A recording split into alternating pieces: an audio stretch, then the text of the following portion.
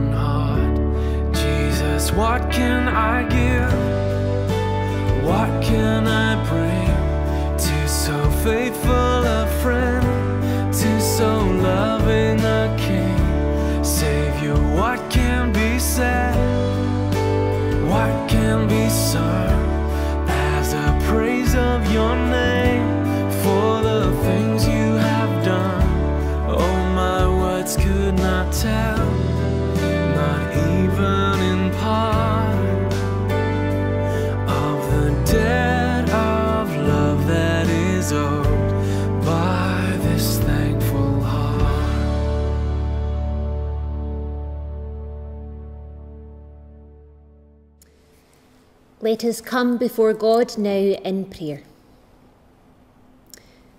Father, we have come to see you, wanting to follow in your footprints, wishing to be changed to live out a new life in you.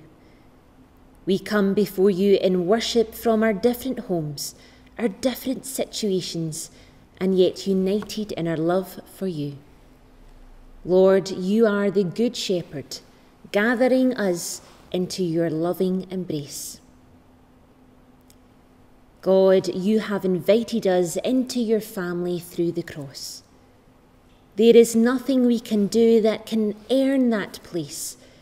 You have saved us with your endless grace. You have written your ways on our minds and on our hearts. For you are our God, and we are your people. Lord, you are the Good Shepherd, gathering us into your loving embrace. Lord, you have called us to put you before all. You have asked that we serve you alone. You have promised us that when we live our lives for you, there you will be, right beside us. Yet, God, the world tempts us to want to put ourselves first. Our heads have been turned to think our worth comes from our status, our career, our wealth, or popularity. We have gone off course, Father, from walking in your footprints, from receiving your blessing and blessing others.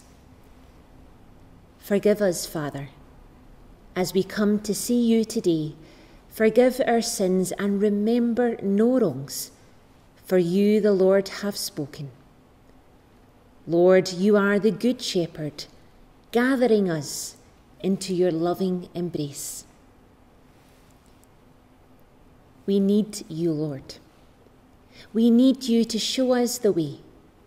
We need you to help us to be the light advancing your kingdom right here on earth. Equip us, Father, by the Holy Spirit so that we can be the hope, directing others home, showing them the way into life everlasting, out from the darkness and into the light. Help us to glorify your name with our lives, Father. You love us without condition Help us to love our neighbour without expectation. For your ways are the only way to full and everlasting life. Lord, you are the Good Shepherd, gathering us into your loving embrace. Now we say the words our Lord and Saviour, Jesus Christ, taught us to pray together. Our Father, who art in heaven, Hallowed be thy name. Thy kingdom come. Thy will be done on earth as it is in heaven. Give us this day our daily bread, and forgive us our debts, as we forgive our debtors. And lead us not into temptation, but deliver us from evil. For thine is the kingdom, the power, and the glory, for ever. Amen.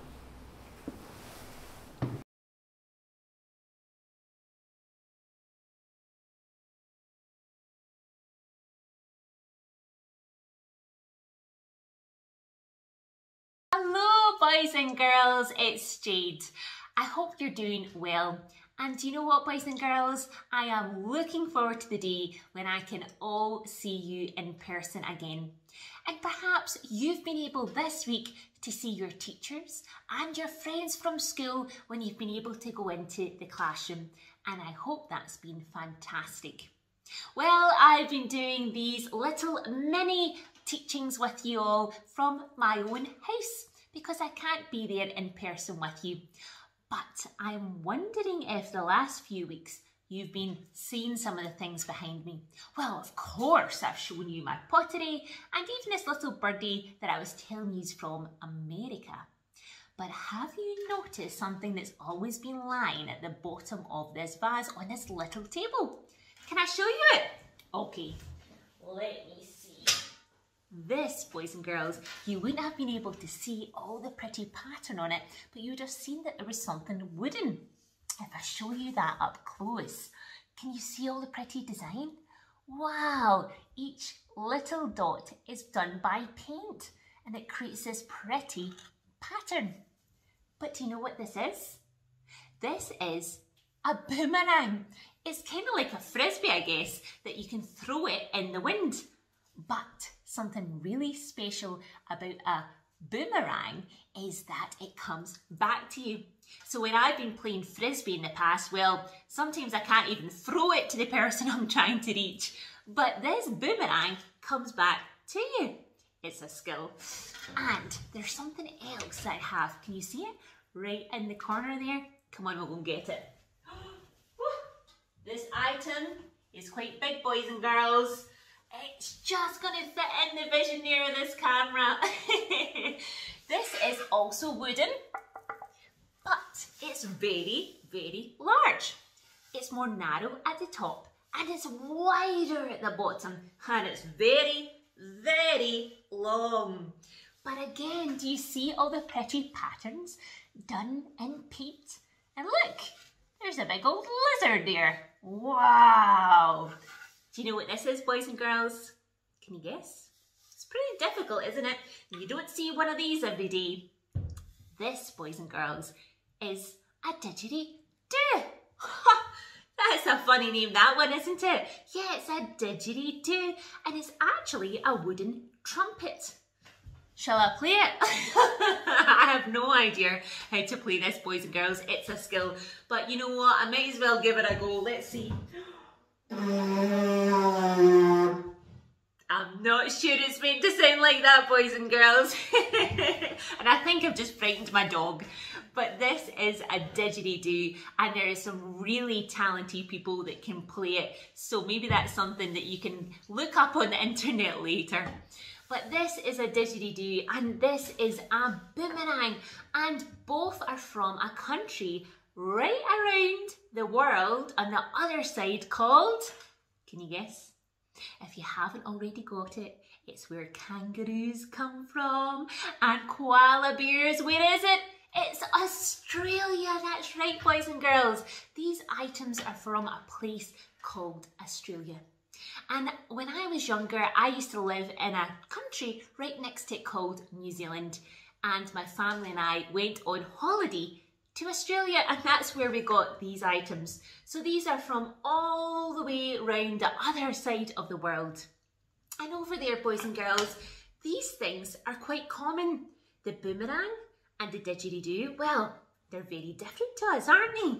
Maybe at school you play I don't know, the keyboard, maybe the drums, maybe the flute, clarinet. We have some talented people at Wishaw Old I Know, so perhaps you can even sing as well. That's an instrument that you can use and you can show everyone your gift that God has given you and we can all enjoy it. But in Australia, there's people just like you and I that can play this, the didgeridoo, and they can throw this, the boomerang, and that's normal to them. There's nothing quite unusual about that. That's a special gift that they have and that they share with others too. In fact, over in Australia, boys and girls, do you know what time it is right now over there? It's 11 hours forward. So look at your watches just now, or your mums and dads or guardians, and try and work out what time it is over there. I can tell you something, it's probably a lot later than what you're doing right now. You're probably having your breakfast or your lunch. Well, they might even be sleeping at this point. It's pretty cool, isn't it, to think that boys and girls, just like you and I, are doing something completely different all the way around the other side of the world. And in fact, whilst you're maybe going to school or nursery and you're having to put your jacket on and I've had to put my cardigan on in the house, well, actually, it's autumn over in Australia, but it's still very, very warm. This is a time when a lot of us visitors that maybe are tourists going on holiday to a place like Australia, we would usually go now because we can't handle it when it gets more hot than it is right now. In fact, it's so sunny right now that you wouldn't need a cardigan or a jacket. It would be what we would consider our summer weather. So boys and girls over there will be going to school in shorts and t-shirts. Oh, that's a nice thought, isn't it? Maybe one day we can do the same when it's a lot warmer. But for now, we wear our cardigans and we wear our jackets. But what I want to discuss today, boys and girls, is how awesome it is that no matter where we are in the world, that we all have this one thing in common. And do you know what it is? It's of course God. If we go to our Bibles, I've got my nice pink bookmark to show me where, and go to John. So the Gospel of John, chapter 12, and go to verse 26. I'm going to read it for you. It says, Whoever wants to serve me must follow me, so that my servant will be with me where I am, and my Father will honour anyone who serves me. Huh, whoever wants to serve me must follow me. So, does that mean all the way around the other side of the world where other bo boys and girls are too? Or does that mean they have to come all the way around here and maybe go to church with us? No, it doesn't. That's what's so awesome. We are all so different, aren't we? We come from different countries, we have different accents, and we're doing different things. And we have all these amazing, awesome gifts.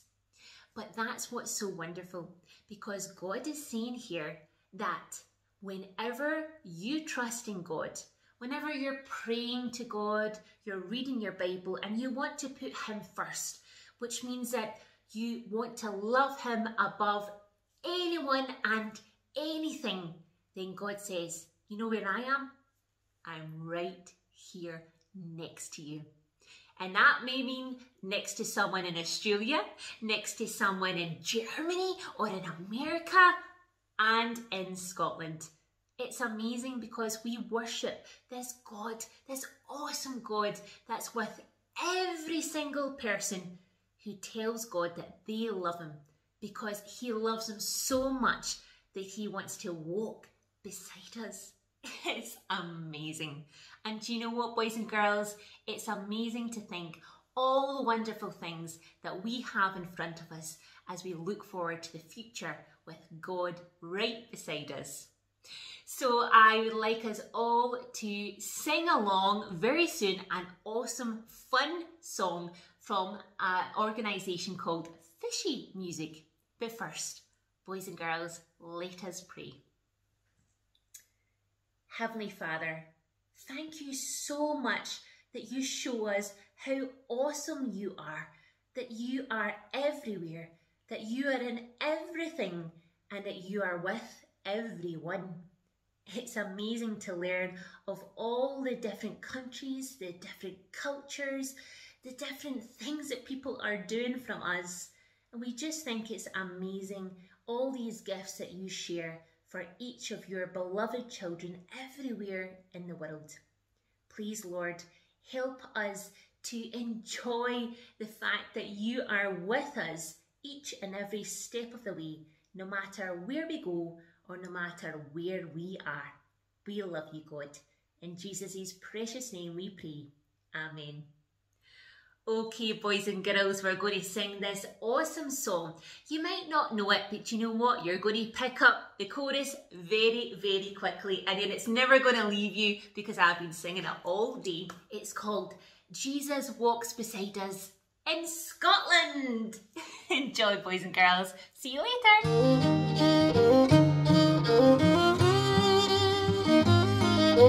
later.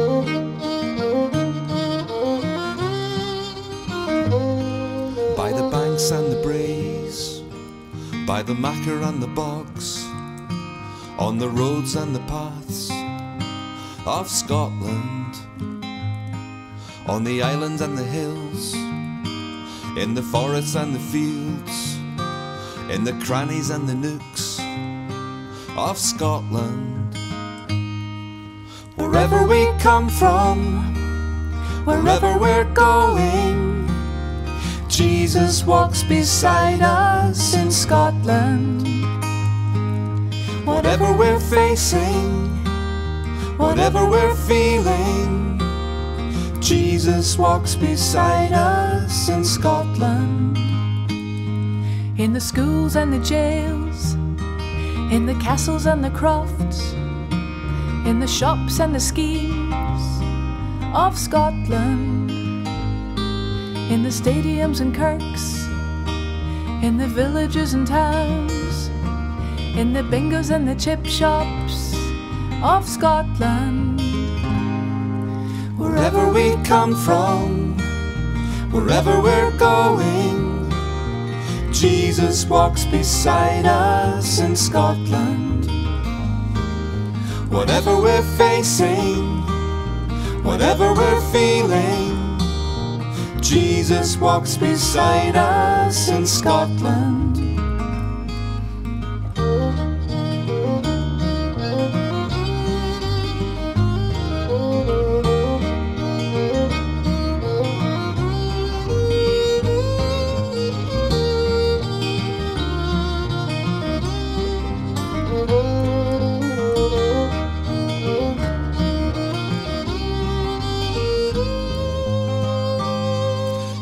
Ups and the downs, in the yeses and the nos, in the twists and the turns of Scotland, in the old and the new, in the haves and the nots, in the dreich and the dry of Scotland.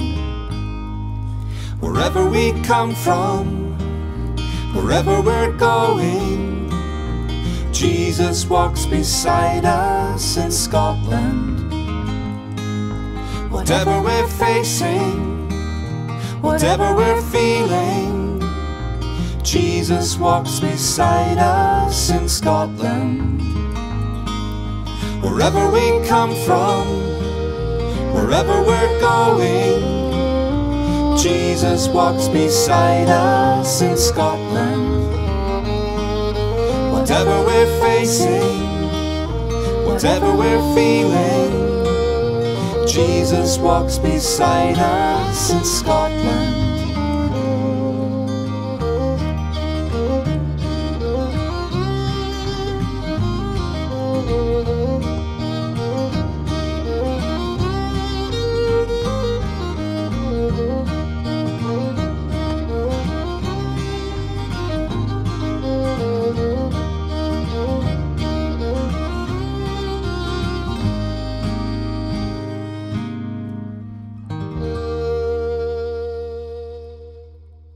First reading is taken from Jeremiah chapter 31, verses 31 to 34. The Lord says, The time is coming when I will make a new covenant with the people of Israel and with the people of Judah.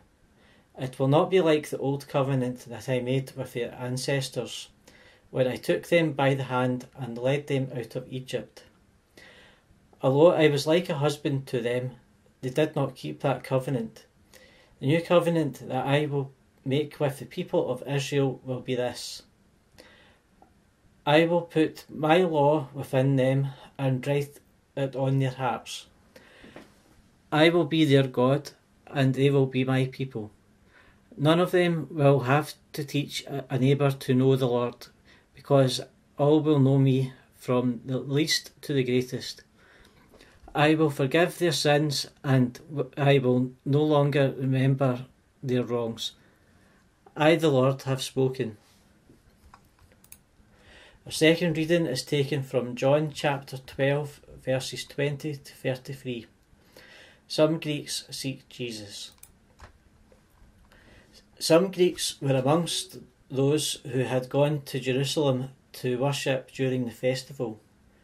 They went to Philip and said, Sir, we want to see Jesus.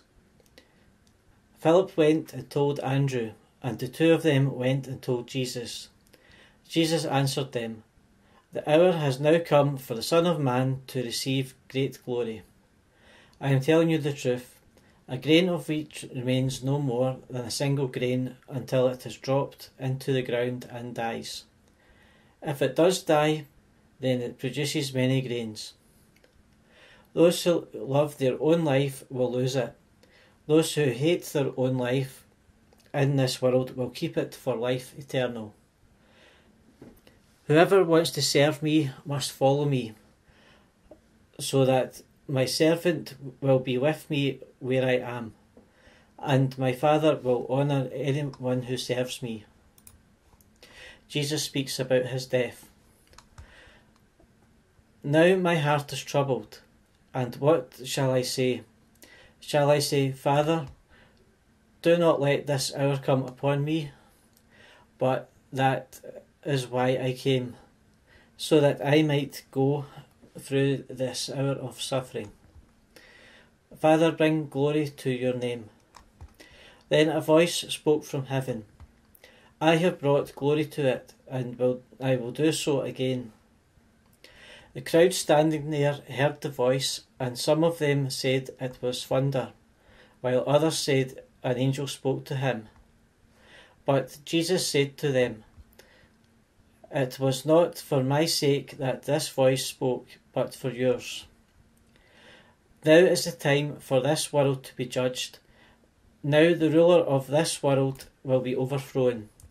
When I am lifted up from the earth, I will draw everyone to me. In saying this, he indicated the kind of death he was going to suffer. Amen, and thanks be to God.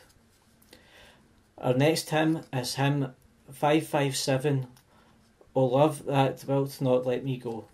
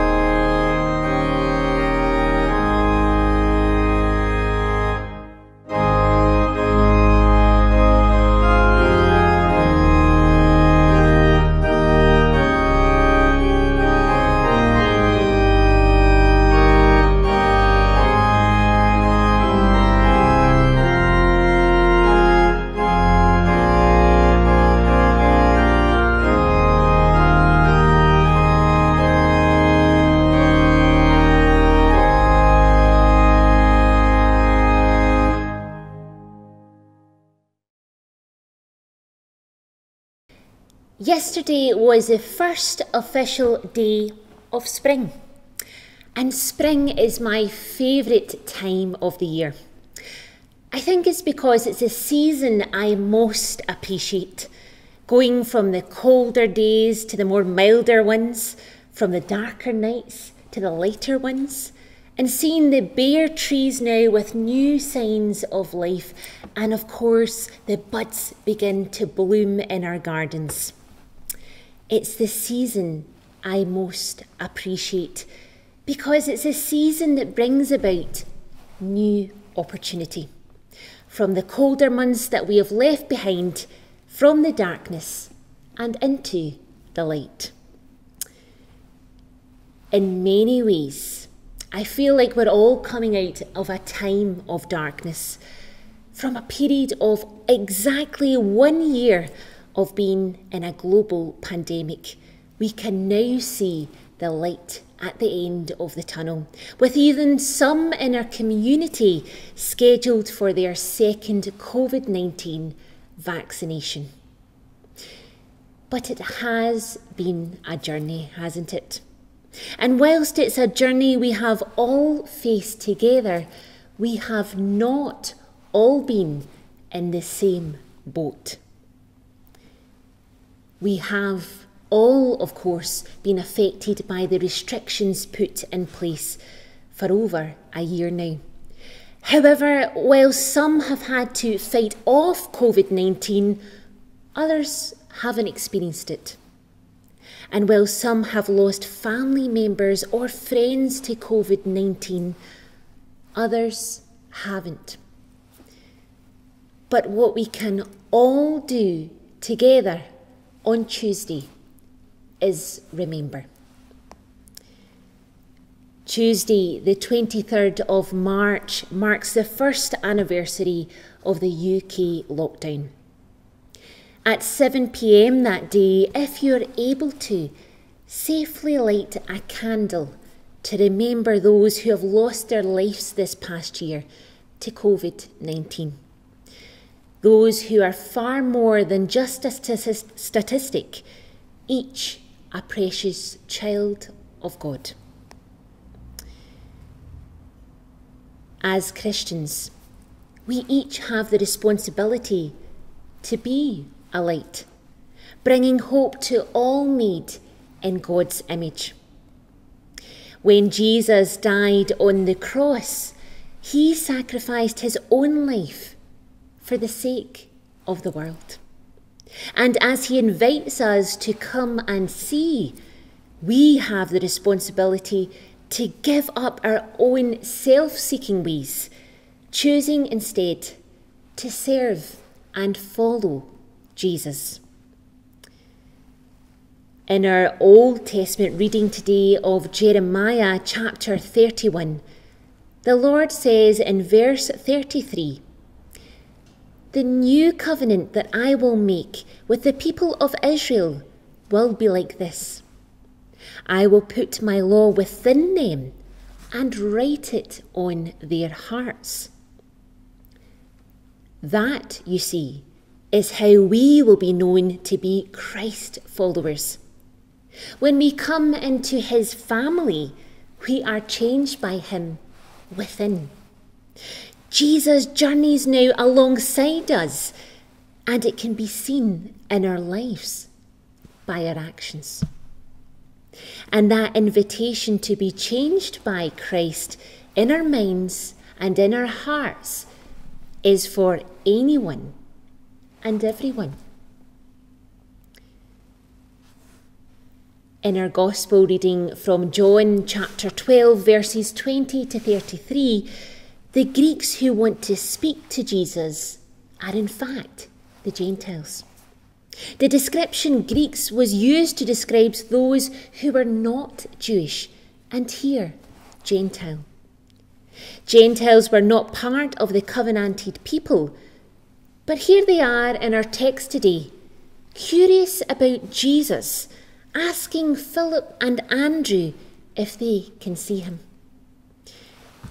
Now, you can't help but wonder what these particular Gentiles had heard about Jesus. What gossip had passed their ears about this wonderful man? What encouraged them to go in search of Jesus so that they could see him for themselves? Perhaps they had heard all about Jesus in the temple, overturning the tables, cleansing the area, the only area that the Gentiles were able to enter into and pray to God, ensuring that this was not a marketplace, but a respectful place for the Gentiles to be with God. Whatever the case, these Gentiles were those out with the covenant that Jesus had now come to bring into his fold those he came to give his life for.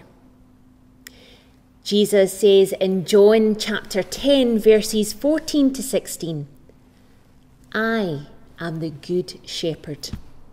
As the Father knows me and I know the Father, in the same way I know my sheep and they know me, and I am willing to die for them. There are other sheep which belong to me that are not in this sheepfold. I must bring them too. They will listen to my voice, and they will become one flock with one shepherd. Jesus would sacrifice his life so that all could now be in his family, where he would be written on their minds and on their hearts.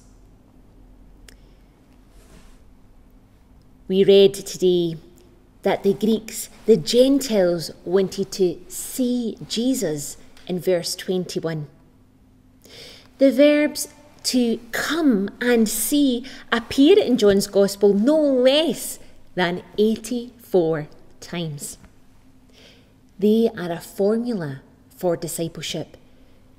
To come and to see is an invitation to follow Christ, to believe in Him, and to walk in His ways. And so the Gentiles here, they weren't just wanting to physically see Jesus for themselves, but they wanted to be part of his flock. That is why Jesus replies in verse 23 The hour has now come for the Son of Man to receive great glory.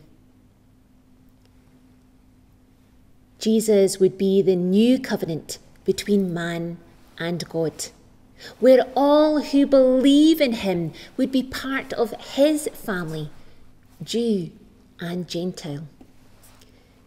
In Ephesians chapter 2, verse 14, we read, For Christ himself has brought us peace by making Jews and Gentiles one people.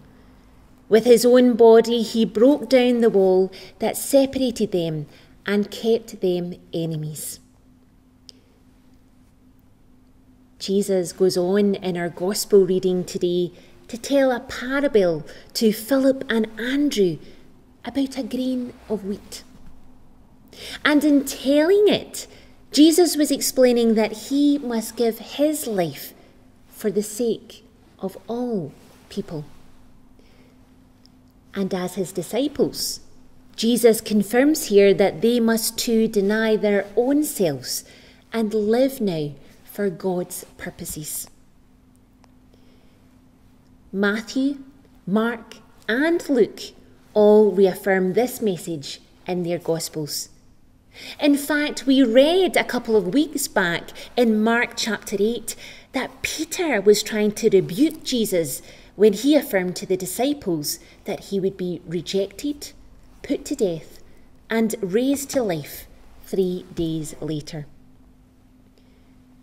Peter was caught up in this message of suffering, and in fear of it, he rebuked Jesus. Jesus then told the crowd and disciples in verses 34 to 35 If anyone wants to come with me, he told them, he must forget self, carry his cross, and follow me. For whoever wants to save his own life will lose it but whoever loses his life for me and the gospel will save it. The message, message Jesus was emphasizing was that being his disciple is about self sacrifice. In serving Jesus above all, you lose the world and its ways, and instead you gain Christ in this lifetime and for an eternity in the next. In verse 26 of our reading today, Jesus said, Whoever wants to serve me must follow me, so that my servant will be with me where I am, and my Father will honour anyone who serves me. Here, Jesus makes a promise Jesus promises that all who give up living for themselves Now, for the sake of living for Christ, he saves. Jesus goes on in our gospel reading to talk about his suffering being part of God's glorious plan, with God himself being heard by the crowd affirming this in verse 28. I have brought glory to it, and I will do so again. Whilst Jesus had not yet been seized or arrested because his hour had not yet come, that hour was now here, signalled by the Gentiles who wanted to come and see Jesus and be changed in their minds and in their hearts as he followed him. Now was the time that the Good Shepherd would bring all those scattered, wandering, and lost into his loving embrace through the sacrifice of his life on the cross. In our own lives, we understand that self sacrifice is a part of how we love one another. In marriage, it's thinking of another person's feelings. As a parent, it's putting the needs of a child above your own. It's going above and beyond for the sake of another, and all in the name of love. But let me ask you today how many of us can say that we do that out with our family circle? or out with that selected few special friends we hold dear. Out with all those that we know will appreciate the loving sacrifice that we give as we continue to deposit into the love bank. In other words, do we love others without expectation? When I was working in the design industry, I was rather taken with the fact that I was selected by my boss to work in Paris for a trade show that we were exhibiting at. I truly thought this was like a scene out of a chick flick. So I, of course, bought a whole new wardrobe for the occasion, and it was only a few days' trip. But this was a work trip. And anyone who's ever worked at a trade show will know that it's exhausting and the hours are long and it is anything but glamorous. Instead of the fancy lunch trips in Paris that I had thought of and that I had seen in these chick flicks, the reality was that we would take turns at the back in the staff room eating pre-packed uh, sandwiches and cakes the, from the staff fridge. When the trade show was finally over, we had everything packed up to be shipped back to the UK, and well, it seemed a bit of a waste to bin all the extra stuff that we hadn't ate in our staff fridge. So we thought it was a good idea to pack them all up and give them to someone that we would see in need as we headed off ourselves for a late dinner that evening. Now, as we were sat in a restaurant, we spotted a gentleman who was begging on the street. I took it upon myself that I would be the one to go over and offer this man our leftover food. And if I'm honest, a lady in my early 20s, I think I really wanted to be that person because it was a good deed so, for more selfish reasons than good, to make myself feel good. But I was in for a bitter disappointment. The man looked through my carrier bags of now out of date items and picked out just two small items, not wishing to take the rest. I was a bit taken aback, if I'm honest. Well, why wouldn't he be grateful for everything that I had given him? I mean, he was in need after all. The reality was that the out of date produce that I was offering this man wasn't going to change his situation. He took what he felt he could benefit from and he did so graciously, not wishing to take the rest. Why am I telling you this? Because I learned so much from that experience. What I was doing wasn't anything in the way of self sacrifice. I was giving with expectation. Yes, I was thinking of another. But in that moment, it was my feelings that I was more concerned with. I never once thought how this man would feel to be looking through out of date items offered by a girl half his age, dressed up as though she was on a set of a chick flick. I was more concerned about receiving that good feeling from a good deed that actually didn't ask anything of myself. When Jesus walked the earth, he gave us windows into the heart of God. We got to see the heart of God, the depths and lengths he goes to for you. Whether scattered, wandering, or lost, he did it for you. When we devote ourselves to serving God, everything we do changes. Because no longer are we self seeking for our own self gain, but written on our minds and on our hearts is the good news that we serve a God of endless love and grace. The good news is that we can be that light. We are each capable of being a light in the darkness, and well, how awesome is that? That we are able to bring the hope of Christ to others. That's not for someone who knows the Bible better than you or someone who's been going to church more times than you have. When you come and see, you become that light as you trust in Christ. He brings the Holy Spirit to move and to shape your life.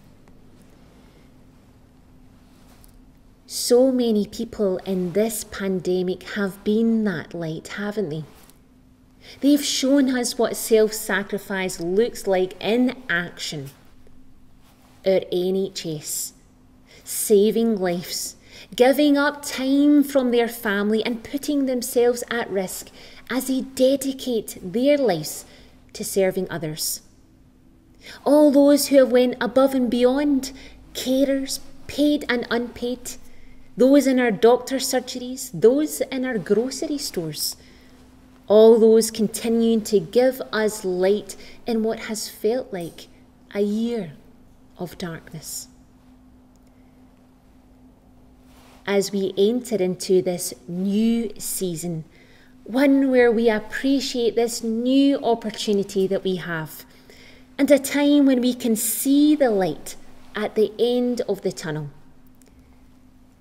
Let us remember the self sacrifice of a man nailed unjustly on the cross, who willingly died all because he wanted you to be loved by him.